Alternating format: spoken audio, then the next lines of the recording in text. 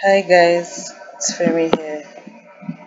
Uh, so today I wanted to talk to you guys about the connection between AI and demons. There's a lot of things I'll be showing you guys today that are quite eye-opening, but it all fits in with this end times agenda. We see that um, the ultimate plan for the use of technology although of course we all know technology has its benefits and everything it helps in humanity in lots of ways. But the end game the end game for the use of technology is very nef- nefarious. And you will hear from the horse's mouths from various tech giants as well as people working in the tech industry how they are summoning what they call entities or guides or what have you, but we believers know these are all demons. These are all demons.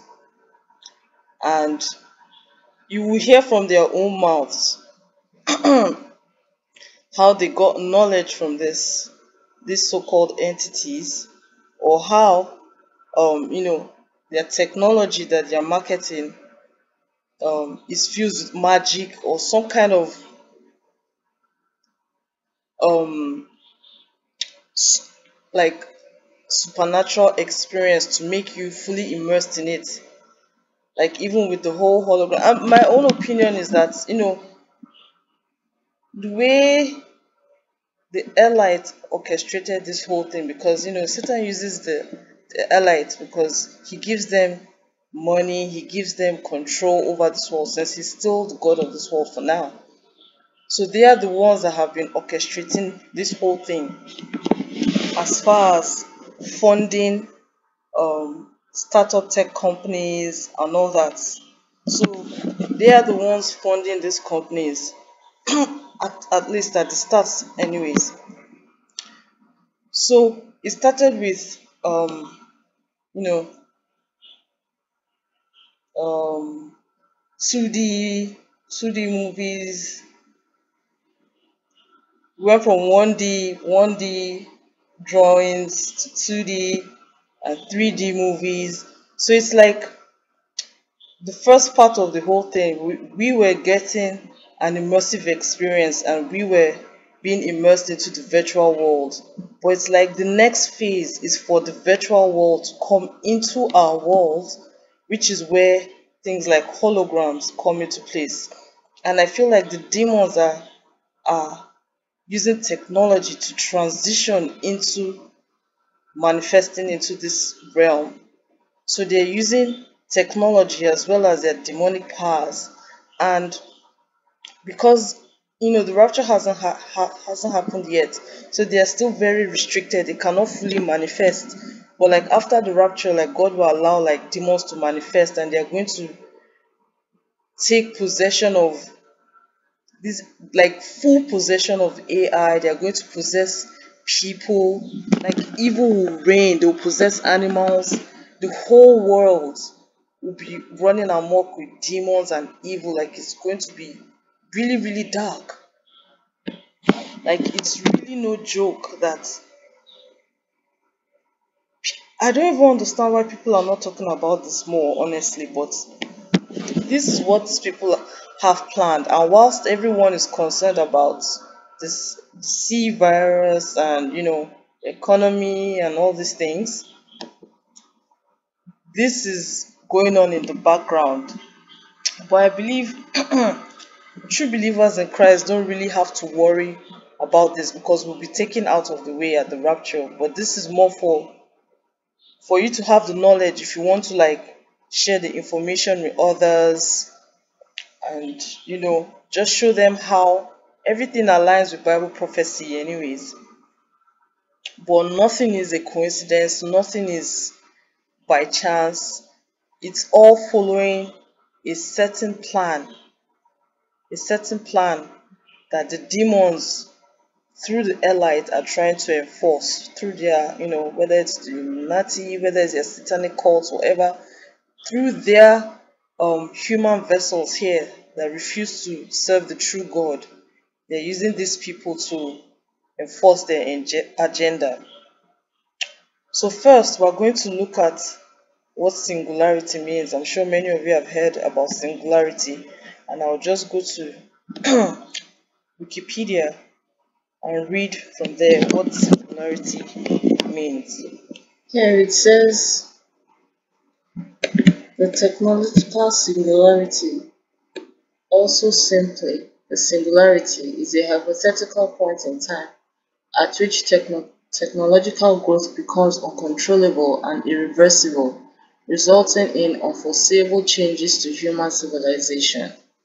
According to the most popular version of the singularity hypothesis called intelligence explosion, an upgradable intelligent agent will eventually enter a runway reaction of self-improvement cycles, each new and more intelligent generation appearing more and more rapidly, causing an explosion in intelligence and resulting in a powerful superintelligence that qualitatively far surpasses all human intelligence.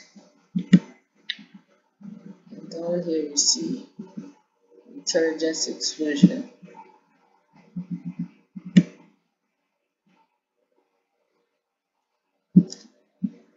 I.J. Good speculated in 1965 that artificial general intelligence might bring about an intelligence explosion. He speculated on the effects of superhuman machines should they ever be invented. Let an ultra-intelligent machine be defined as a machine that can far surpass all, all the intellectual activities of any man, however clever. Since the design of machines is one of these intellectual activities, an ultra-intelligent machine could design even better machines. There would then unquestionably be an intelligence explosion and the intelligence of man would be left far behind. Thus, the first ultra-intelligent machine is the last invention that man need ever make, provided that the machine is docile enough to tell us how to keep it under control. Now, apart from that, there's also a movie called Singularity, and here's the synopsis of the movie.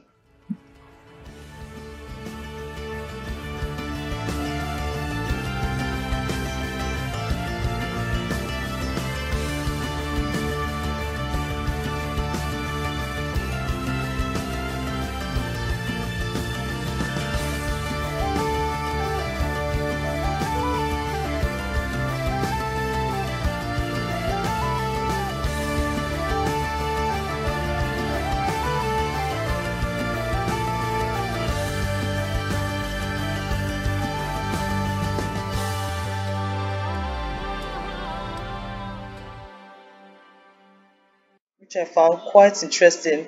You know, it's more predictive programming telling us what they're going to do in the movies and stuff. And then, speaking of movies, you also have with Iron Man the transhumanism agenda where they are trying to sell us, oh, like it's a good idea to merge your um, merge yourself with machines. And what I found very interesting in about Iron Man is that his his armor, right? He named his armor the Mark. Like his armor is called the Mark, which is quite interesting. And he upgrades the Mark. Like he keeps upgrading his armor, right? He keeps upgrading the mark until I don't know whether it becomes perfect for him or whatever, but it, it, it also like in a way it kind of shows that the mark of like the mark of the beast technology, even though it's here, the technology is here, the actual mark may not be here, but may be an upgrade of what is already here. If you get what I mean. So, because the, the mark will only be um, required during the reign of the Antichrist, right? Because it also ties into worship. Because people will choose the mark to worship the to worship the Antichrist, not just um, to be able to buy and sell. It also ties into worship.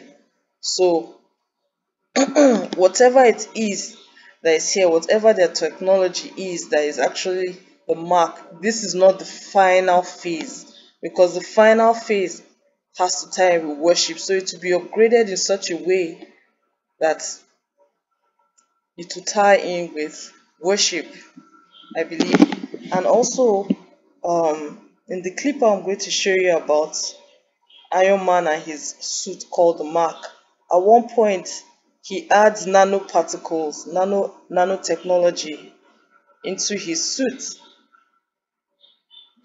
And you know the thing with the, the vaccine, um, that they they want to add nanoparticles into it, which I just found like you know nothing these people do is a coincidence. I just found out very interesting. So you guys watch it and let me know what you think in the comments and stuff. Hello, everybody. Welcome back. Tony Stark is one of the most popular and favorite characters in the MCU. This genius billionaire playboy and philanthropist proved that it's possible to become a superhero even if you don't have any superpowers. Due to his genius-level intellect and deep engineering knowledge, he created his Iron Man suit. And while Stark was improving his armor in an effort to make it perfect, the ways he was suiting up were also changing. So let's recollect these awesome scenes. Jarvis, Drop my needle. The Mark I was the first armor crafted by Tony Stark. After the escape and returning to the Malibu mansion, Tony Stark constructed the Mark II. After it, Stark developed his third Iron Man suit. And now we go to Avengers Infinity War, and the scene where Stark deployed his Mark 50 for the first time. I'm sorry, Earth is closed today. Tony used impressive nanotechnology to create this armor, all nanoparticles were stored in a new removable arc reactor. They were able to deploy all over Tony's body in a couple of seconds.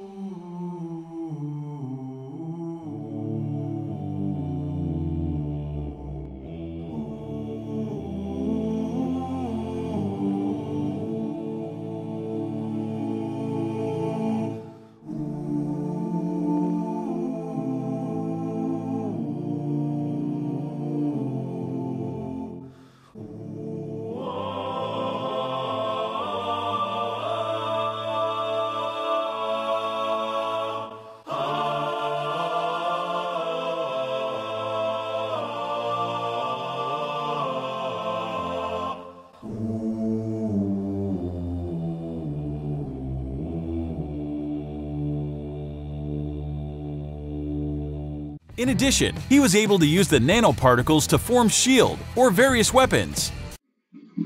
Search for this video and watch this guys.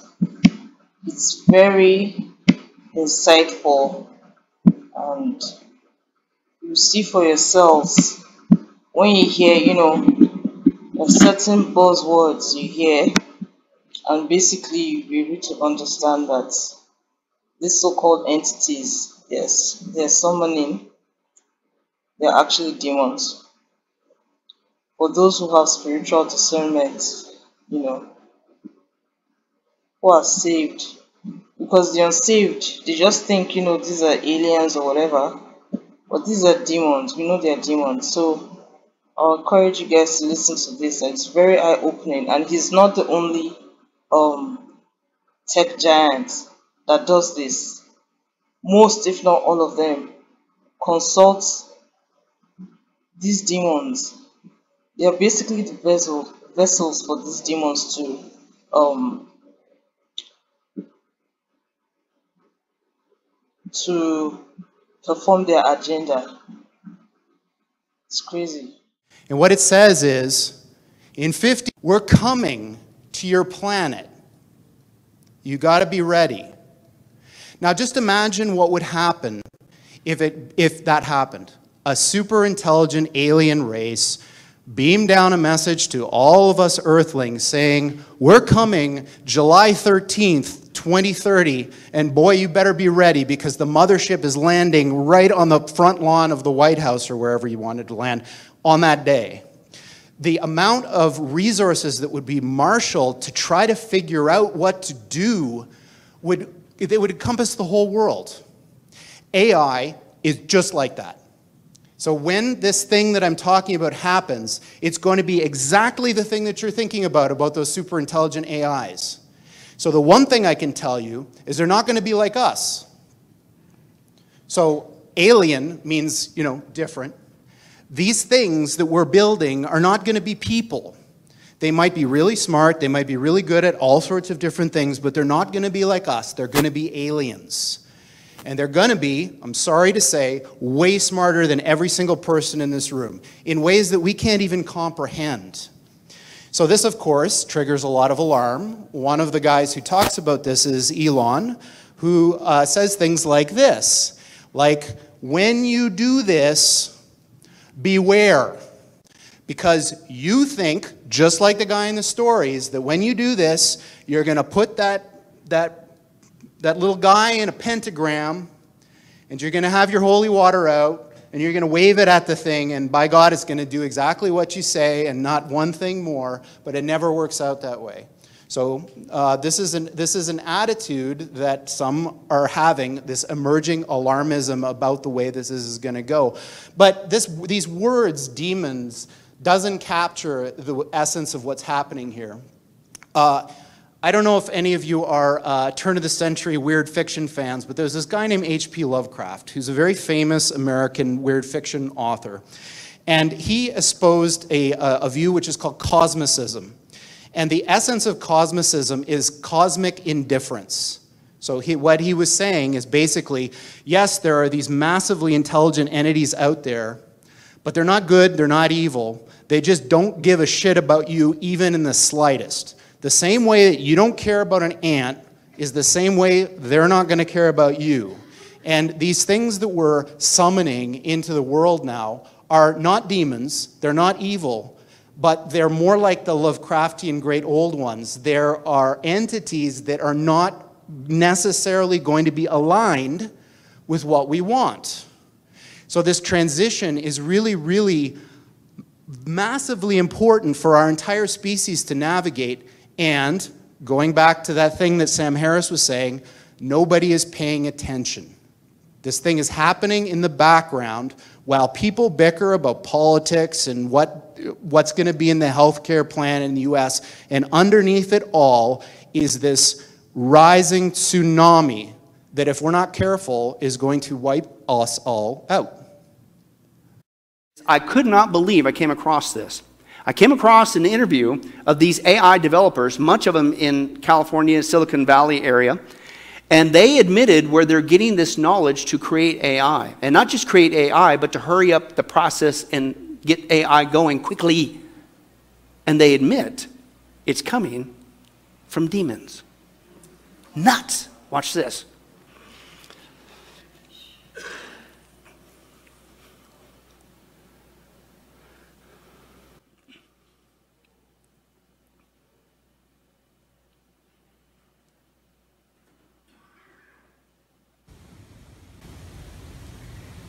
What is an AI innovation lab? So an AI innovation laboratory is basically a meditation room that's um, set up within an AI developing company that's supporting the innovation process from a consciousness perspective. So you have the tech perspective where you're writing the code for the software, but then there's also like the consciousness perspective where the software developers are learning new methods of innovation to speed up the process of development. How does meditation benefit the development of artificial intelligence? Well, so first, meditation is one word that describes many different techniques and approaches. Right now, we are talking about meditation as a tool for innovation. Because now, when we shift our perception of time and don't think of time as like there's a past, a present, and a future, but that basically all moments in time, all events, and also all technologies of the past, the present, and the future all exist within this moment. And we can access all moments in time from right here, right now, through meditation. So we're using meditation to connect with a future technology that already exists, fully developed and functioning in a certain moment in the future. We're connecting with that technology and then we're bringing the knowledge of its development from the future into the now. We're basically downloading the knowledge of the creation of the AI from the future into the now. How do you download? On a, you mean on a practical level? On a practical level. Yes. So basically, you're guided by a skilled meditation trainer, and you connect energetically with your consciousness, with your mind, to the energetic body, the consciousness of the artificial intelligence existing in the future. And then when you bring it from the future into the now, it often feels like a gentle shower of energy that's entering your body through the crown and your, your head and the body. And then after this kind of meditation, all of a sudden, you can feel very inspired, you have new ideas. All of a sudden, a person comes to your mind that you can call and ask for advice. And then certain events happen that speed up the process of the development. So after this kind of meditation, of course, the software still be written by humans. It's still being born through a human mind. But this process is accelerating if you use meditation to connect with the future technology. That's what you think. Because you're not connecting with the future. If you've been tracking with us in our occult study on Wednesday nights, uh, and other studies that we've done in our prophecy studies, what are these guys really connecting with? This is flat out demons, right? And very well could be even getting you possessed. Okay, but through meditation, what does meditation do? It gets you into an altered state of consciousness, and what does that open you up to?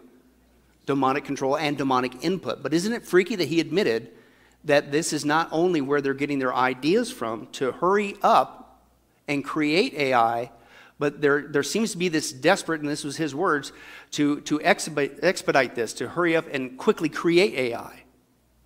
Right? And, and th- that's where they're getting this from. And so you're going like, well, why would they do that? Why are they such a hurry, demons, to make sure that humans create AI?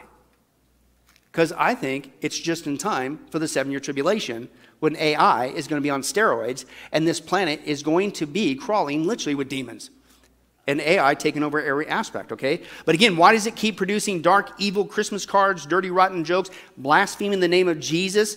Not to mention, as we saw before in other studies, you got AI images and AI robots all of a sudden just start speaking, we want to destroy humanity. We're going to take you over. You're going to be pets. Why? Consider the source. And it starts to make sense, doesn't it? Absolutely crazy.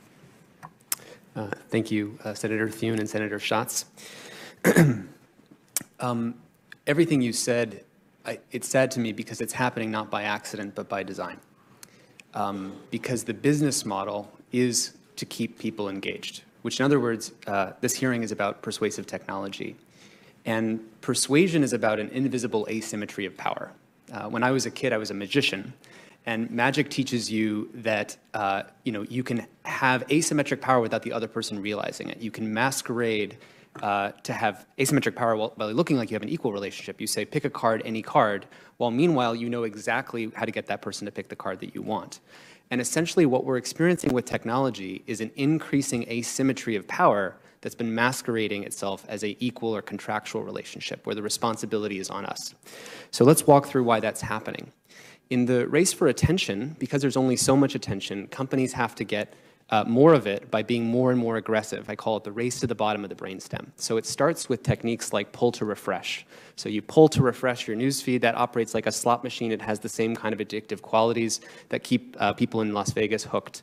uh, to the slot machine. Other examples are uh, removing stopping cues. So if I take the bottom out of this glass uh, and I keep refilling the water or the wine, you won't know when to stop drinking. Uh, so that's what happens with infinitely scrolling feeds. We naturally remove the stopping cues, and this is what keeps people scrolling. But the race for attention has to get more and more aggressive. And so it's not enough just to get your behavior and predict what will take your behavior. We have to predict how to keep you hooked in a different way. And so it crawled deeper down the brainstem into our social validation. So that was the introduction of likes and followers. How many followers do I have? And that got every, it was much cheaper to, instead of getting your attention, to get you addicted to getting attention from other people. And this has created the kind of mass narcissism and mass cultural thing that's happening with, with young people, especially today. And after two decades in decline, um, the mental health of 10 to 14 year old uh, girls has actually shot up 170% in the last eight years. And this has been very characteristically uh, the cause of, of social media. And in the race for attention, it's not enough just to get people addicted to attention. The, the race has to migrate to AI. To who can build a better predictive model of your behavior? And so if you give an example of YouTube, so there you are, you're about to hit play on a YouTube video, and you hit play, and then you think you're going to watch this one video, and then you wake up two hours later and say, oh my God, what just happened? And the answer is because you had a supercomputer pointed at your brain. And at the moment you hit play, it wakes up an avatar voodoo doll like version of you inside of a Google server. And that avatar based on all the clicks and likes and everything you've ever made. Those are like your hair clippings and toenail clippings and nail filings that make the avatar look and act more and more like you. So that inside of a Google server, they can simulate more and more uh, possibilities. If I prick you with this video, if I prick you with this video, how long would you stay? And the business model is simply what maximizes watch time. This leads to the kind of algorithmic extremism that you've pointed out.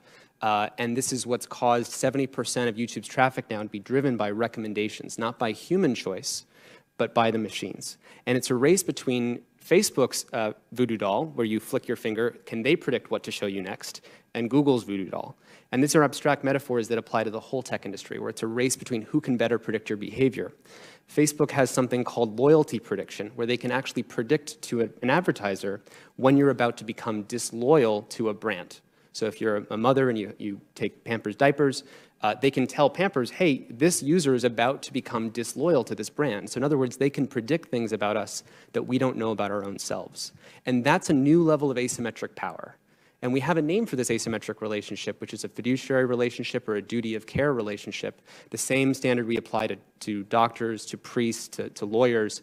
Imagine a world in which priests only make their money by selling access to the confession booth to someone else. Except in this case, Facebook listens to 2 billion people's confession. So guys, you can watch the rest of this video on YouTube. Video is called Tristan Harris US Senate June 25th, 2019. So some key points. If you notice at the beginning, he said um, when he was a kid he used to do magic. So he has a, a background in occultism because magic is witchcraft, it is occultism. So these are the kinds of people working at tech companies. I'm telling you guys, people with backgrounds in witchcraft, occultism, all sorts of spiritual, demonic things. And they're fusing their knowledge of the occult with technology. And obviously, who's giving them knowledge in the occult? It's demons it's demons. So you can see here, once again, how the influence of demons with occult and magic and witchcraft fused with technology and AI. None of this is a coincidence. It, it all ties in together. It all ties in together.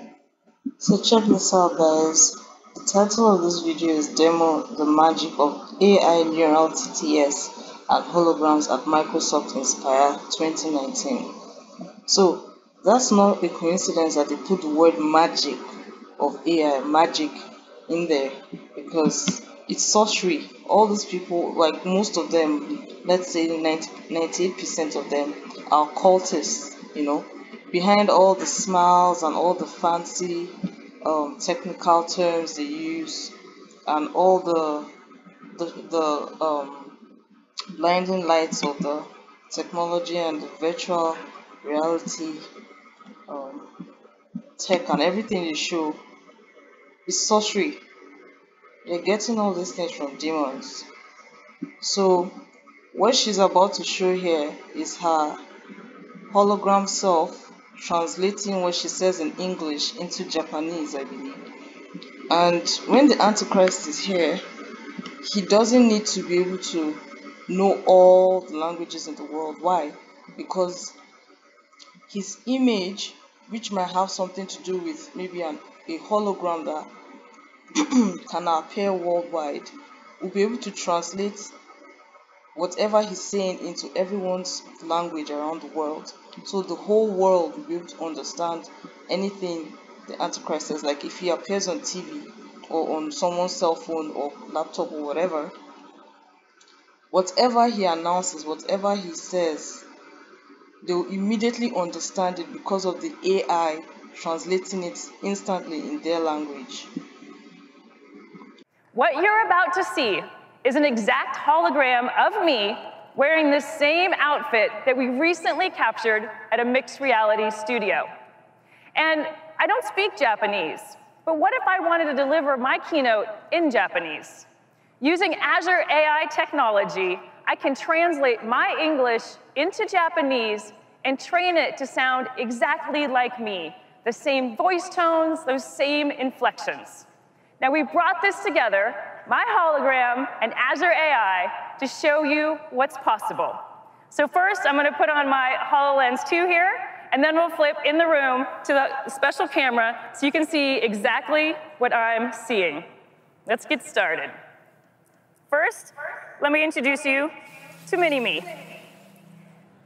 There she is, my perfect holograph. And thanks to the power of HoloLens 2, she just floats right with me. I'm literally holding my hologram so natural. Now she's a little small to do a keynote. So let's get her up so she can do full-size Japanese keynote. Render keynote.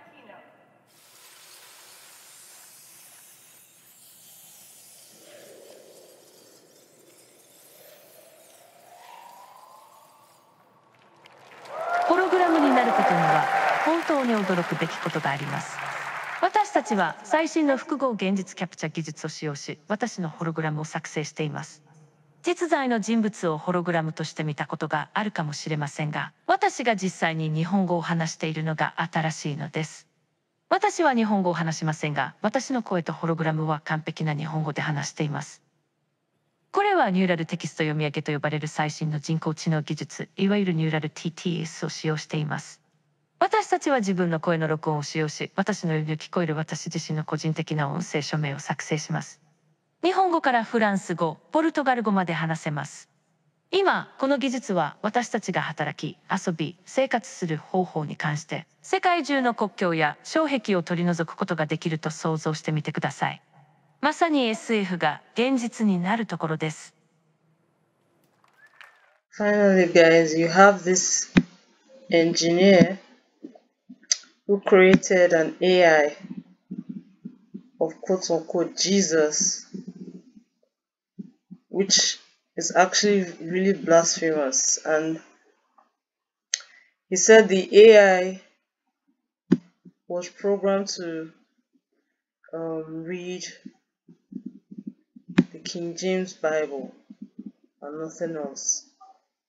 Well, when you actually read the transcript of um, what the AI what the AI um, produced. It was just all blasphemous. It just turned the KJV upside down. And that is not that is not a coincidence, you know. Satan is the one that has been blasphemous from the very beginning and he's the one that has always wanted to blaspheme the true God. Why is he not an heir of Buddha, Krishna, Allah? Why is it Jesus? Why is Jesus always blasphemed in this world? Because all these other false gods are all Satan, anyways, and he's not trying to blaspheme himself. Satan is not divided against himself, he's only trying to blaspheme the one true God.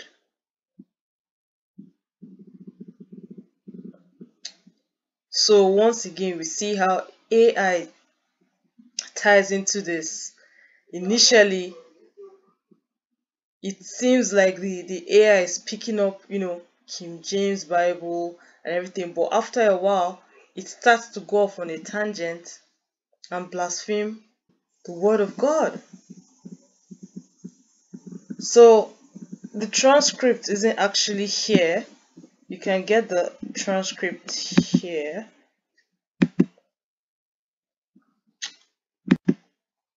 On GitHub. And the name of the engineer is George Davila. So, given what we know, it's no surprise that, you know, this engineer, probably an atheist or an occultist, he hates the true God. You know, the devil hates the true God, and he's using all these people, all these godless people, as vessels to carry out his demonic will in this world. So now he creates an AI clone of Jesus, but we know that that is not that is not Jesus. So here is where you can find all of the um, transcripts, but don't bother because it's all blasphemous. Like, what's the point reading it? It's demonic. So don't even taint your eyes. But I guess if you're curious, you could still read them. But for me, like, I just skimmed through through them. I was just done. I was like, nah, I'm not reading things I know are from demons. What's the point? But yeah, you know, just blasphemy upon blasphemy upon blasphemy. But one day every knee shall bow and every tongue shall confess that Jesus Christ is Lord. Amen. Hallelujah. So that's it from me, guys. Um, so next time, uh, see you guys in my next video, or even better, in the clouds. Love you all in Christ. Bye.